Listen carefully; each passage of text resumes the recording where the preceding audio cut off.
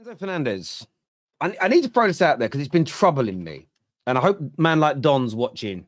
Greasy, greasy, greasy Don, or Greasy Don, as I wanted to call him on Sunday, because he tried to weasel his way out of something, right? And I love Don to bits. He's a top lad, loves his club. And I think sometimes he loves them. You know, they say love is this is a famous line from a huge hit in the 90s by the Spice Girls, but their line was love is blind as far as the eye can see. And that is Don and a lot of Chelsea fans when it comes to Enzo Fernandez.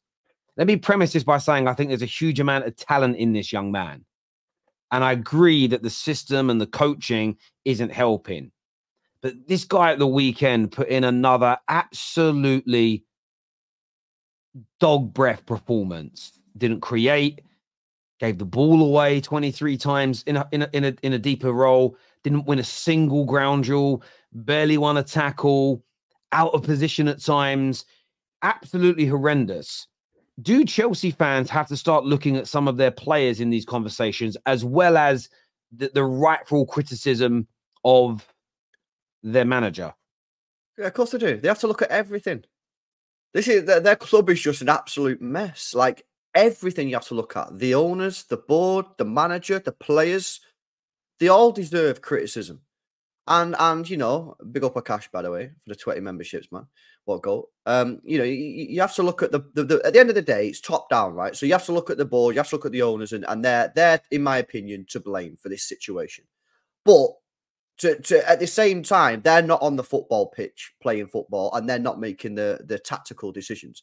So yes, blame them and and criticize them 100% this is all their fault. But then you do have to you, you, blame other people and you know you have to blame Pochettino as well. But then you look at the players and, and you're absolutely spot on with Enzo. Listen for me when I'm watching Enzo I, I watch him and by the way I, I, watched him at River Plate because City was um, linked with him and we was linked mm. with Alvarez at the time. So I watched him at, at River Plate and I've seen him I actually watched him for um, Argentina as well. And when I watch him in this Chelsea side I don't know whether it's him or whether it's Pochettino, but I, I don't really fully get exactly what he's meant to be doing on the football pitch. Right. So when I I'm gonna come back to my team, right? Because it's easier to do it for my team and, and Dan could do it for, for his. But like when I look at my midfielders, I know what they're, they're there to do. I know what Rodri's job is. I know what even Kovacic's I know what his job is. I know what Foden's job is, Kevin De Bruyne's. When I watch Enzo, like one one game, like when I watched against Sheffield United, he was dropping really, really deep and just smacking the ball forward like a quarterback. Then sometimes I've seen him a little bit more pushed up. Now, again, that might be due to Poch giving him different roles and stuff, but I'm not fully getting what he's meant to be doing. Doesn't score, yeah, he doesn't get any assists. He's got five assists, yeah, in, in his Chelsea career. He's played 60 games. So he got five five assists in 60. He's got seven goals in 60 games. So he's not a goal scorer in this team. He's not assist. He's not an assister in this team. He's not a Kante or a Rodri or, or, or a Makelele, a destroyer at the back. You know what I mean? So what is he? Is he just a is he just a pauser merchant? Is this guy just a Kovacic, someone who just keeps the ball and knocks it around? Like, what is he actually supposed to be doing? Now, yes, again, you got to look at for me the manager and, and what is he ex- what is he asking Enzo to do? But you know, Enzo for me has to be giving more. He has to be given. He has to be given giving more. But I just feel that like at the end of the day, this manager is just unable to get the best out of these players. And and Enzo Fernandez, I'm I'm I'm pretty confident that if you stuck Enzo in the City team, in the Arsenal team, or the Liverpool team, you would see just a 10x uplift in performance from this guy. Because I do think, like you said, Terry, I do think there's a player in there. But I hmm. think this manager is just fundamentally unable to get anything out of him. And I think, first of all, just pick pick a position and tell him what to do rather than try to tell him to do everything else. So, yeah, I don't know, man. Listen, he's got to be doing more, but then it comes back to the manager. It, it's just a mess, man. That club is just, it's just, it's just shambolic. It, it really, really. I actually is. really want to see these players away from Poch because apparently it's all Poch. So as soon as we get another manager in, they're all going to be top four, fighting with City and Arsenal. Bollocks. Absolute bollocks. Let me tell you that. Poch can go if he wants to. Doesn't bother me. I think he's overrated, and we've had that discussion before. These players are nowhere near the level of what some of the Chelsea fans believe they are. Now, it's not all the Chelsea fans, right? Because some of the fan base, you speak to people like Johnny Minerals, you speak to Goonie, you speak to Eunice, even Matisse. Some of them fair play, but Don is one of them, and there's not the the only one. There's a few others, right? And I love Don. but I've said to him so many times that he overrates some of his players. And this season, these performances from this guy and from Caicedo, by the way, who he thinks has been a seven to seven and a half out of ten this season, Yeah. they've both been absolutely shocking in my opinion. Enzo was in the World Cup team, though. Yeah, facts. So You, can't, you can't tell me there's not a player. There's definitely got no, no, no, no, hundred percent. Listen, he, there's a player in there for sure, Mm. but I don't feel like the perhaps was 115 pounds worth of player, and now we're looking at that. What's this 115 pound player going to be like? Because I'm not. You might laugh at this, but if you was to swap his performances with somebody like Scott McTominay, I wouldn't be sat in there going, "Wow, that looks much different from what I've seen at Chelsea." This guy looks just average, bang and- and this- average. And this is the thing. I, I understand there are elements that go wrong that are on coaching. I get that because I I use that same logic against my own players. But if you take an example, Scott McTominay is average in a good system or a bad system. He he would be, as Enzo would, he would be better in a well constructed, well drilled team, Scott McTominay, in terms of I don't think he'd make as many mistakes, his positioning would be better. His quality on the board would remain the same. Mainoo's also suffering at Man United because of this ridiculously weird system that we have, the way we empty the midfield when we're pressing. But he's still in the game having lots of moments of brilliance because he is still a brilliant football player. That's the element for me where I look at Enzo and go, where are those moments from you? Because I even when you start breaking down these numbers, there are some things that are, that are you know that are, that are good. I mean, got good long ball passing accuracy of nearly 70%. He's passing accuracy accuracies in the high 90s, but he's a relatively low chance creator, but also gives the ball away a lot. But then when you look at someone like Declan Rice, you look at someone like Mainoo's, they create a lot less chances. Well, Mainoo creates half the amount of chances that, that Enzo does because he's typically a lot deeper. But Declan Rice creates the same amount of chances, but gives the ball away six to seven times less per game. But then both Mainoo, both um, Declan Rice win far more aerial duels, far more ground duels, get taken on less, um, and and have had less errors leading to opportunities. So I look at Enzo and go, you're giving the ball away a lot. You're not that great defensively. You're not creating the chances. You're not scoring lots of goals. Where are those moments of brilliance from you? And the reason that I say that Chelsea fans have got to have these conversations is of what I've been through in the last 10 years when my club was struggling is that we, we've gone through processes where get rid of the manager and we'll be okay. We Yeah. never were going to be. Oh, we could just get a good footballing director, we'll be okay. We're not going to be. Oh, if we get rid of these three or four players and buy three or four new ones, we're going to be okay. It was always about a combination of those things and actually having the right football decision makers looking at everything. And I think as football fans, we become really polarized or really hyper focused on one, maybe two problems instead of looking at the wider issues. People do it to me now. What Ten Hag? Wow, Terry, you know, you want Ten Hag out. Why are you saying it's any different? But it, I don't want Ten Hag out in isolation. I want every fucker out, including the vast majority of this squad, because they're not good enough. And I use Enzo as an example where I think Chelsea fans, listen, you might get a better manager, you might buy some more experience, you might cook, you might go on to have a brilliant career at Chelsea. But I don't think in, in when they put their hand on their heart, when they're alone at night, laying in bed, all quiet and dark, I think Chelsea fans have got big red flags going off in their head about this man. they 105 haven't- million pounds. When, when give me one 105 million pound performance against a decent or a top level team. I, I can't off the top. Chelsea fans might remember, so tell us them because I'd love to know what they were. You've seen a young man in Mainoo. You've seen what Declan Rice has done. By the way, Declan Rice was putting in top class performances in mid table West Ham teams. So let's not act like you. Ha- if you're that great a player, you must be able to do it still at the right in, in moments at least. At least. That that's my point. Is against Sheffield United when Sheffield United are having more shots against you and your team is worth a billion pounds.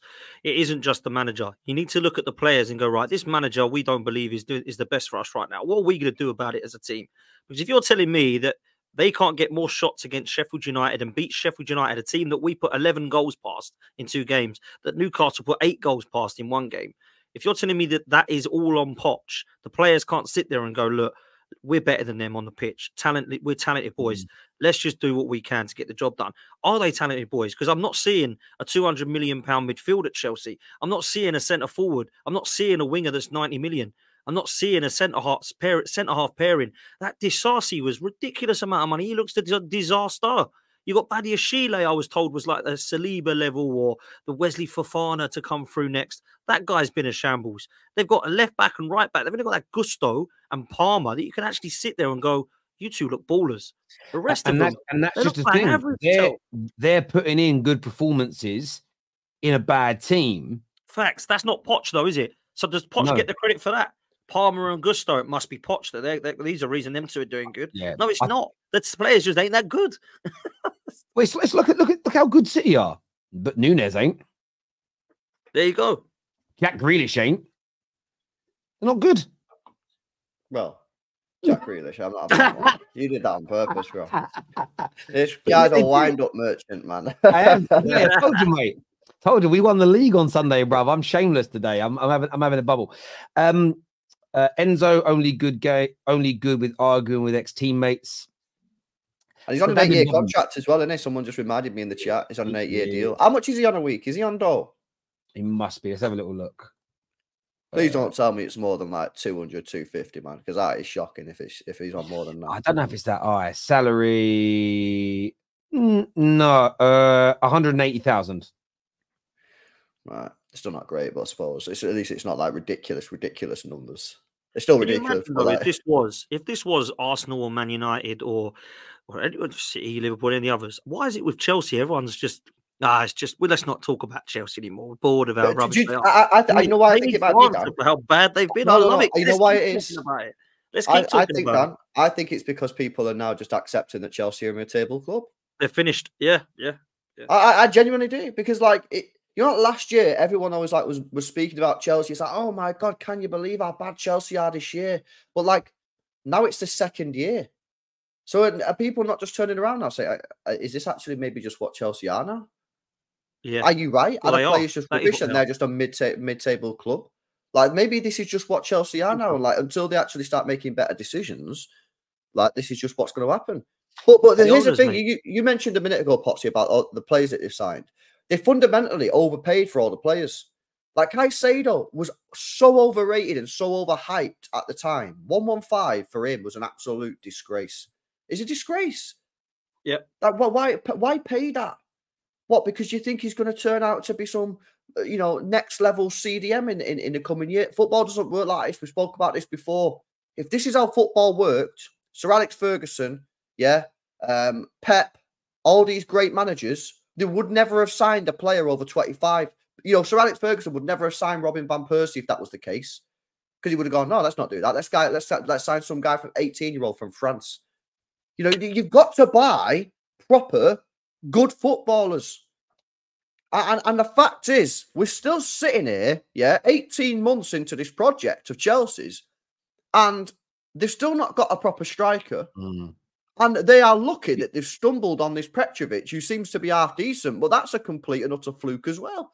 Look, when Man United signed the Jaap Stam in '99, when we signed the Dwight Yorke in '99, and I'm not, I want to make sure I get the Dwight Yorke's uh, age right. I, I know for a fact that Jaap Stam was 26 year years of age. The Dwight Yorke it was 27, so it's 26 turning 27, and that's the whole thing. In the year that we had our greatest season ever, we were signing 26 and 27 year olds as as our main as our main players, and that does need to be looked at. And ain't football a funny thing?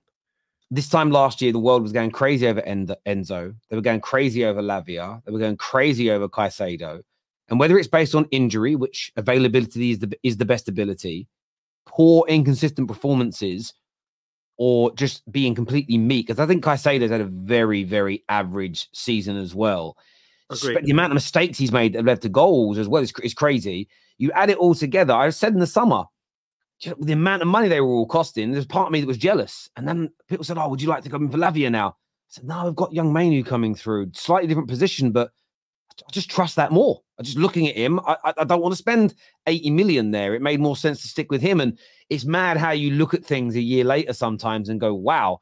Um, I, I'm glad we weren't involved in those races, but they've gone and signed all three of them. And Mm. there's I'm not saying a new manager can't get improvements out of these players, but I listened to something that Omar Berrada said whilst he was working at City. This is a City standard. I've seen a lot of the United people say this was the same at Old Trafford, and I'm sure most big clubs and great clubs will tell you that they had this mantra that players get 18 months to two years, managers 18 months to two years. People get up to about two years to prove they're good enough. And if they're not, they have to go. The problem you have, if that is the, the sort of the general amount of time that a club allows a player to shine, they might become a fringe player after that. But if they get two years to become that star in the first team, and that's how most top level clubs operate, what do you do to some of these players on eight year deals if after two if after two years they're not improving? What if you get rid of Poch and they're still not better? What then That's do what you do? That's That's what I'm that's the big, that- you can't let it go on three or four years because then you've got four years remaining and no one's going to buy him. You actually have to sell him sooner rather than later when there's still a bit of hype about them. So look, Chelsea have got a lot of soul searching to do uh, this summer. There's no doubt. And look, my club do as well.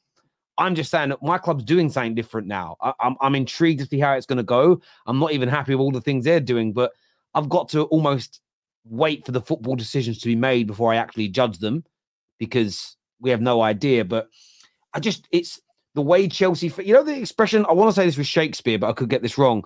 Like one doth protest too much, methinks. The way I see them jumping to defend Enzo, like like wild dogs, tells me, oh, they know. They're a little fearful there. But maybe I'm wrong. Let me let me let us know in the comment section, people, what you think. Uh, we had some super chats come in here. Says uh, you do know you didn't win T Dog on Sunday. Yes, we did win. We did win. We did win. It was a 2 2 draw. And um, we at Man United have put a serious dent in f- f- uh, Klopp's leaving party. And I'm happy about that. So I am. Uh, Enzo reminds me of the Nilsson who played for Arsenal. Oh, do you remember how the Oh. Nilsson? Yeah, mate, terrible if that's the case. If he's like This him. is, this is but, but this is the vibes I'm getting. The way Arsenal fans used to defend that man and, and rave about him reminds me about what they're doing with Enzo. You know, sometimes just let it go. You're, you're you're doing too much. Yeah. the- it's too, I mean, in fairness, Don did it the other day with Cole Palmer. He reckons that people just go to Chelsea to queue up just to watch Cole Palmer play. I'm not there to watch Chelsea anymore. I don't know what's going on. This is all, the- you know, this is, this is all I've got. Oh, It's crazy. He backtracked a little bit on Sunday by like, no, he's, just, he's just, he's the most entertaining reason to go. I'm like, I can buy that, but I don't believe any Chelsea fan wakes up on a Saturday morning and says, right, I'm off to the bridge. Well, where you going? Who you playing today? I don't care. I'm going to watch Palmer. I don't think hmm. any Chelsea fan has said that. I don't. I don't.